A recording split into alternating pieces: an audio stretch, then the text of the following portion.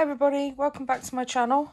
So, Tim Holtz has some new releases coming out, some um, Stampers Anonymous stamps and some stencils, pre-ordered, of course. Uh, so, I thought today I would do, I'm either going to do a tag or a page in my art journal and I thought I would use this stamp set which has, comes with a stencil and the stamp set. It is, it doesn't say what it's called, but that's okay. So they're the stamps and that's the stencil in it.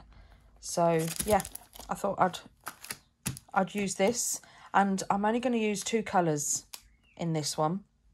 And I'm thinking of tea dye oxide and speckled egg distress because I do love these colours together. And I'm also, well, uh, I'm not counting black because black isn't, I don't consider black as a colour, to be honest. So I, I will be using some black distress ink, but I'm not going to count it. So these are the two main colours that I'm going to be using.